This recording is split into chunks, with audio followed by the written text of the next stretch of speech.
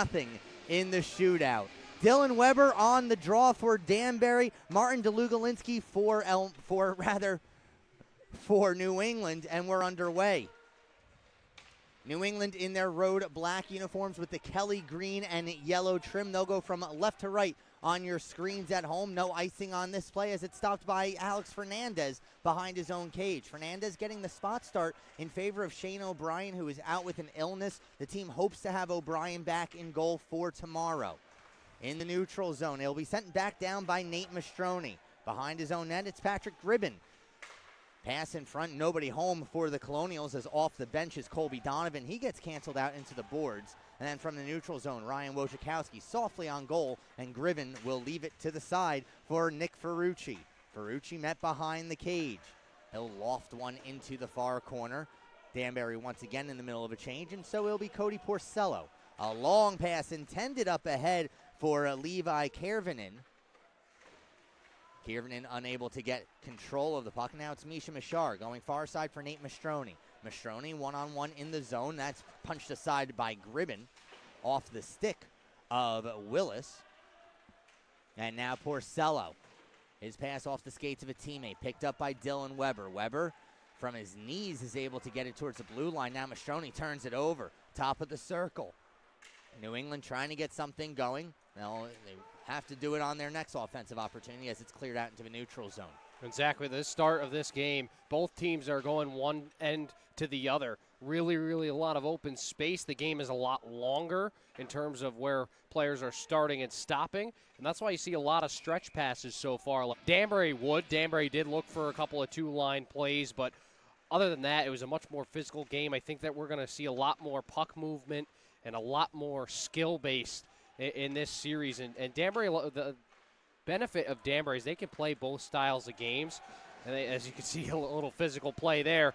But they can play both style. They can play the skilled game. They can play the physical game and they will they'll match you with, with, their intensity. And you mentioned the skill game. How about Nolan Murphy for the New England Knights? 31 goals, 30 assists in 37 games played. His 61 points is the most of both teams tonight. Yeah, you always watch guys in warm-ups, and watching Murphy w- was really really fun to watch. His, his skating ability is so good, but his shot is so so quick. That goes off the helmet of Andrew Palmeter.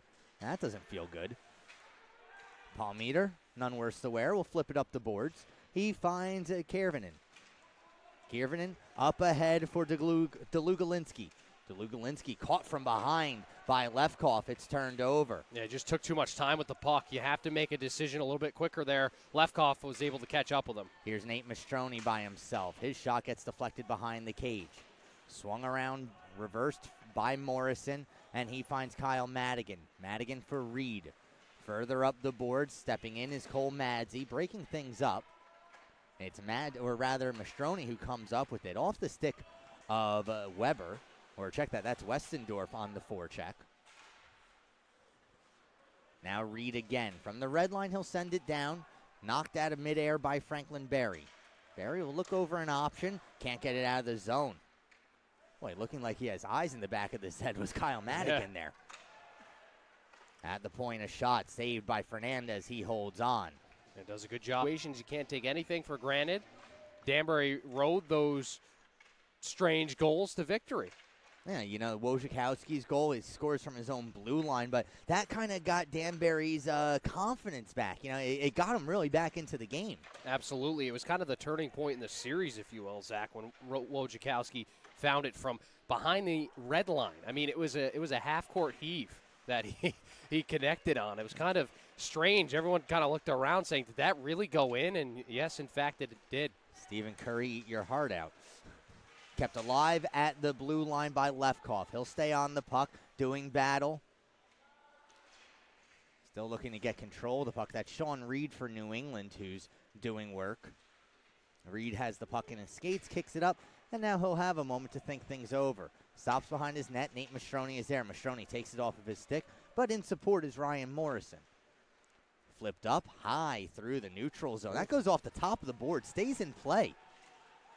Failing his stick, or rather having his stick fail him, was Cole Madsey as he spikes it back into his own end. Brady Hill gives a go. This one will get sent out once again. This time it goes out of play. Buck Lefkoff will swing it on back. Danbury again has to be careful. You know, Jack, that's the second or third time now we've seen Danbury playing with the puck in front of their bench in the middle of a line change. Yeah, a little lackadaisical too. Guys hopping over the boards a little bit slower than you would like. You just have to be a little bit more aware. You don't want to go to the box once again in this tight game. McEnany swings one towards goal. We have a whistle. It's position. He touches it off sides. It does allow Danbury to make the full change. It allows them to make the change. Moreover, it prevents the two on one that New England thought that they would be able to sniff out. 30 seconds to go on the power play, a minute 30 remaining in the first period. Still looking for our first goal in this game. It's Madsey having to deal with Butler. Now Remsen. Remsen shot right into the paraphernalia of Ferrucci, and it's cleared out of the zone. Now getting onto his horse is Devon Butler. Butler into the zone on a breakaway, saved by Fernandez. Butler sends it right back in front. It's Willis.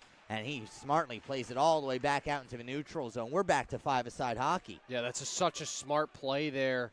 Coming back the other way, the puck is bouncing and it just misses Madsey's stick. He, you got to play that with a body in that situation. And then how about the save on the back end for Fernandez? Misha Mashar, his shot punched aside by Gribben with under a minute to go in the period. Sent over to the far side. Lefkoff does not hold the blue line. He'll collect that in the referee's crease and give across for Wojciechowski. Wojciechowski, a bad turnover. Here's Nolan Murphy going the other way. Murphy on his backhand swings one in front, saved by Fernandez. Unable to get anything on it was Jake Willis. Yeah, Willis has had a wide open cage there. He just couldn't handle it on the backhand. Very tough for him to handle. Easy save for Fernandez to make, even though he was out of position. If Willis gets any height on that backhand, New England has themselves a goal as Fernandez was doing the splits on the middle of the ice. Back in the neutral zone, it's Wojciechowski. 10 seconds to go in the period. McEnany. He'll send one into the glove of Gribben. Gribben will hold on. 3.9 home white uniforms with the orange and gray trim. They'll go from left to right on your screens at home here in the second period. Thank you again, folks, for tuning on in. I'm Zach McGinnis, joined alongside Jack O'Mara. And, you know, in that first period, both teams had their opportunities. Coming up big was Patrick Gribben for the New England Knights. In the Zamboni corner, pair of players make that five battling for the puck. It gets sent up the near side wall, unable to uh, clear the puck were the Colonials. Now Weber chips one off the glass, gets as far as the neutral zone. In the neutral zone, Ryan Wojciechowski stepping up. And Jack, you know, I I'm seeing a different game out of Ryan Wojciechowski. He's really gotten involved offensively, especially these last few weeks. Absolutely. I think that his game is, is growing as we see each week in, week out. He just is more comfortable with getting involved off- offensively, and that takes a lot of, of courage and, and skill, and you kind of have to get your bearings there. And I, I really think that over the last couple of games, Wojciechowski has grown so much as a player.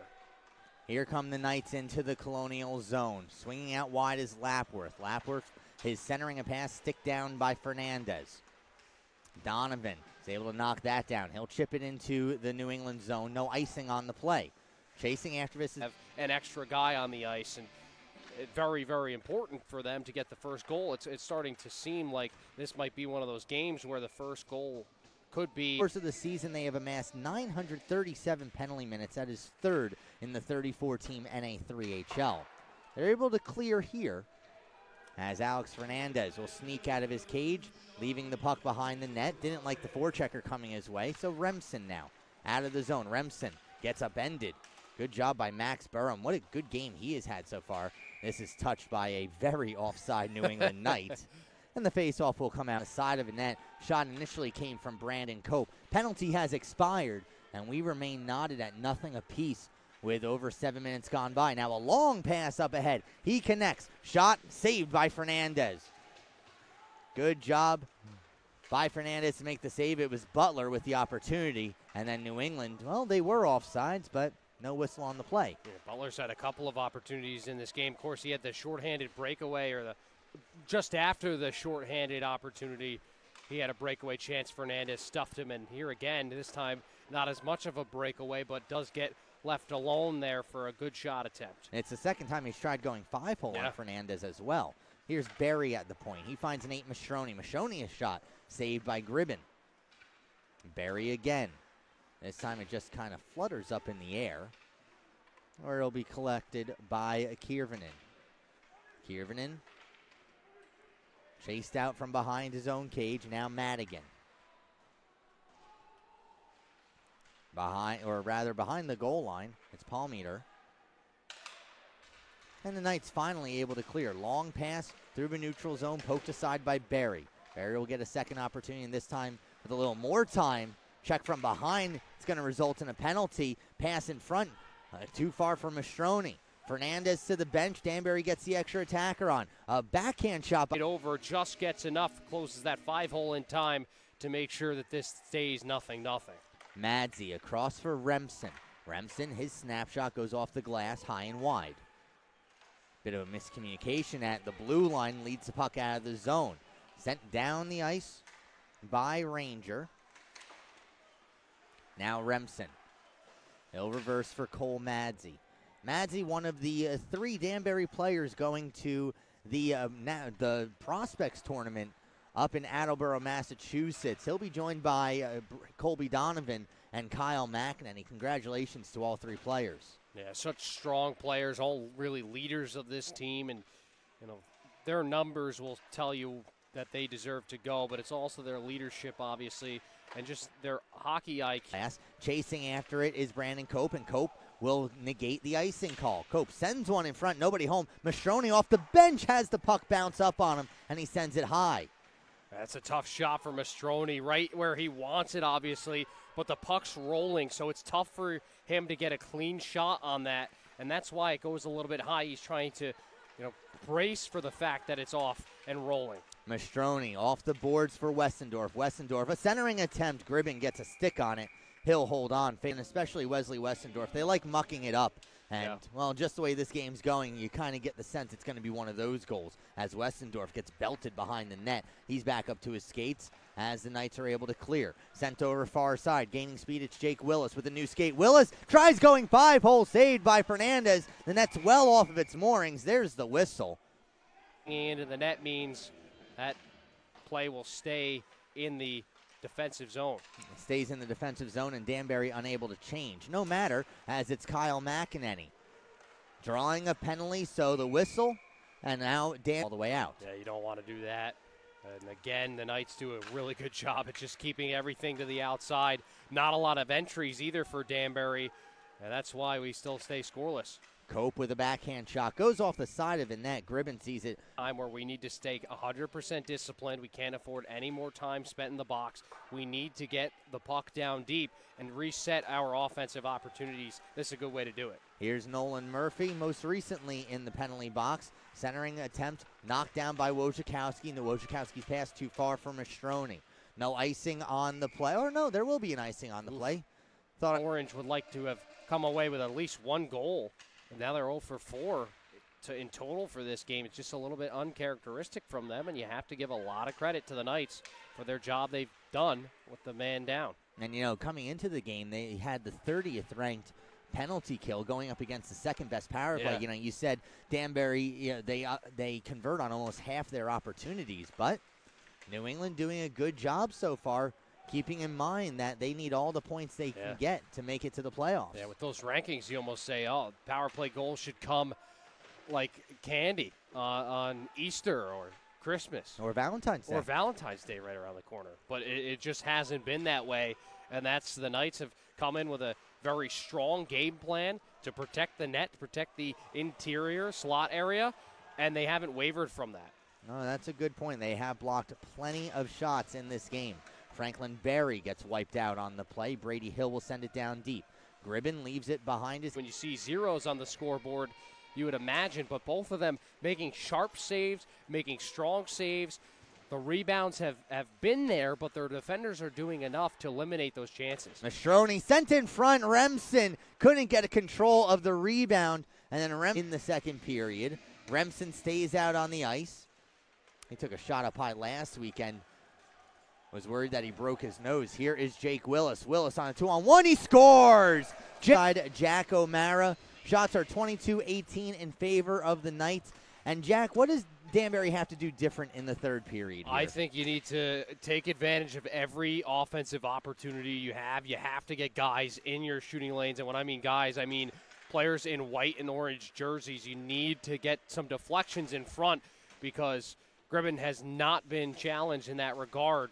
You need to get some second chance opportunities. Backhand shot by Mastrony is saved. Now another shot by Mastrony goes over the top of the net as Patrick Gribben's busy doing snow angels in front.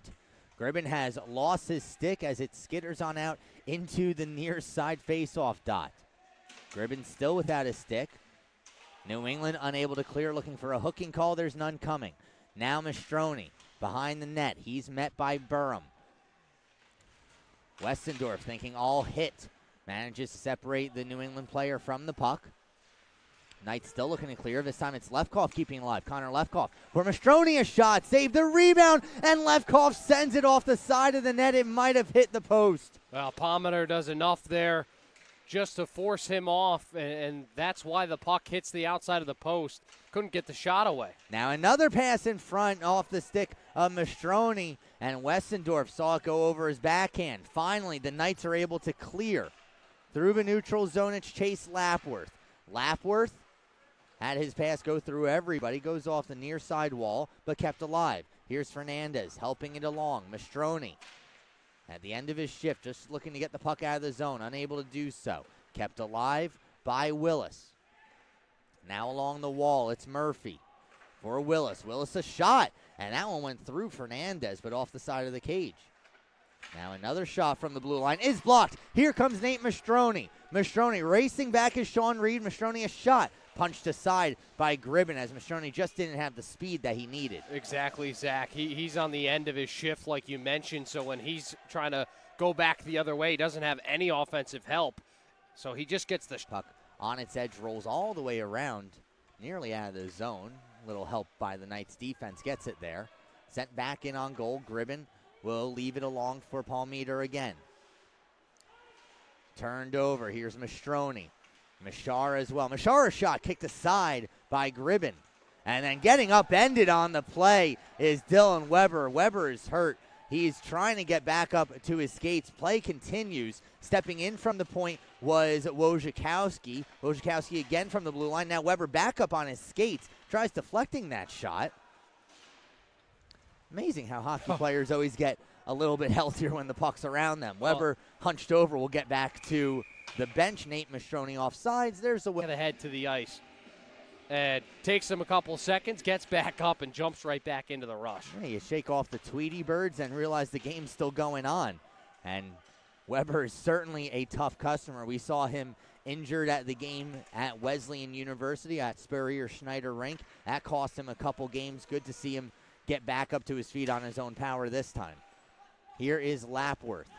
Turned over in the corner. Westendorf doing some work, but it'll be taken by Ferrucci. He sends over far side for Morrison. Morrison's pass knocked down by Mastrony, and then Morrison just punches it into the Danbury zone. Off the glass, touched by a high stick.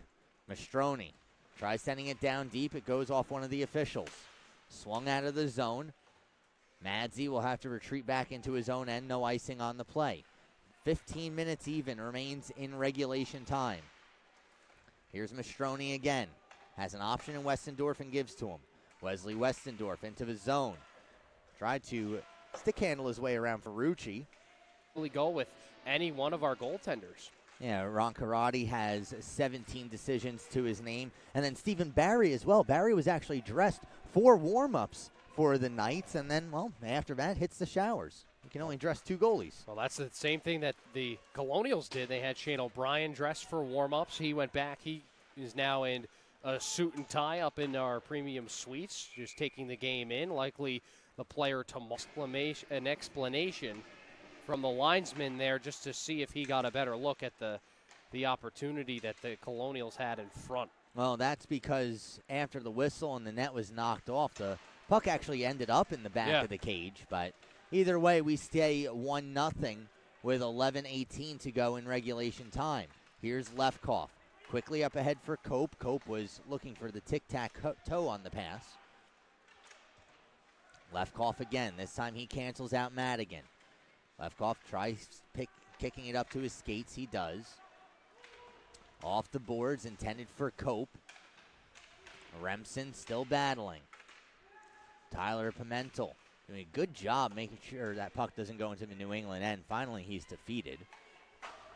Off the glass, out of the zone. In the neutral zone, Franklin Berry sends one right off of Pimentel or Pimentel into the corner. Now Palmeter. Palmeter goes back to Pimentel. Tyler Pimentel manages to thread a needle up ahead to Martin DeLugalinski. DeLugalinski sends one through the slot intended for Butler, but Butler was tied up on the play. And once again, the Knights able to carve their way through the Danbury defense in the neutral zone that Cole Madsey was unable to get back on that play, and that's why the two on one, DeLugalinski came across, and Gribbins there to make another good save. McEnany not the biggest of players, officially listed at five foot nine, 150. When you're not the bigger players, you have to be fast, you have to be skilled. Kyle McEnany checks the boxes as he and Lefkoff, the defenseman for Danbury. Off the draw, loose puck, picked up by Wojciechowski and sent down deep. Mastrony will chase after this. Getting there first is Ferrucci. He reverses course for Sean Reed. Reed forces one up the wall, kept alive by Wojciechowski. Tried getting it deep. It's knocked out of midair by Chase Lapworth. Now Lapworth knocked off of his stick. Turning around with this is Willis. The lone goal scorer in this game. Willis gives a cross for Lapworth. Nap- Lapworth is neatly stripped of the puck. Lefkoff up for Cope. Cope tried going back to his forehand. Reed gets in the way. Neatly taken by Ferrucci.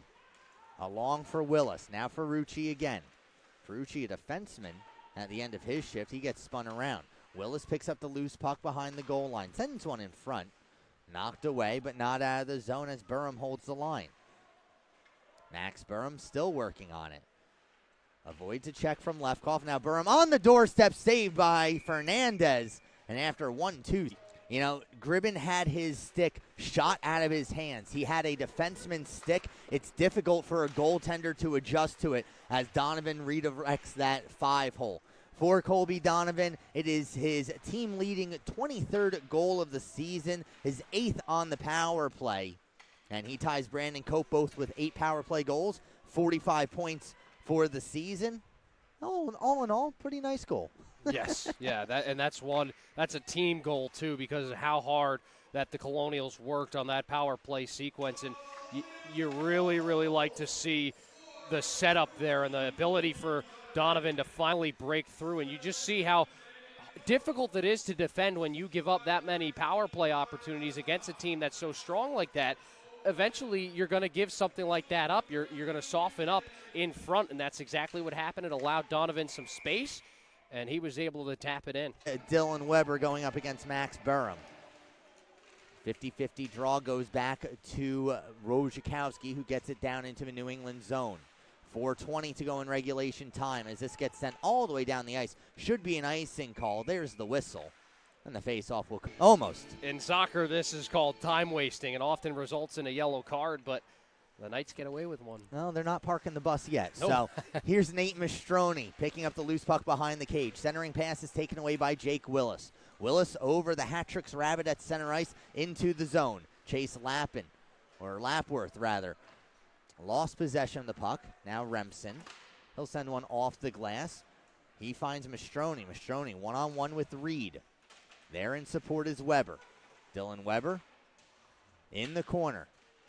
Canceled out by Reed. Mastrony there to help out. Under three to go in regulation. At the point now, Wojciechowski. D, D to D for Lefkoff. Lefkoff scores! the wall, and uh, this game was ripped kind of out of your hands. So off the draw, six skaters on the ice for the New England Knights. Five players battling for the puck in the far corner. It comes out, not out of the zone. Good job by Delu- Delugalinski to hold the line. Sharp angle attempt goes through the blue paint. Now Murphy from the point, a bouncing Oof. puck ends up in the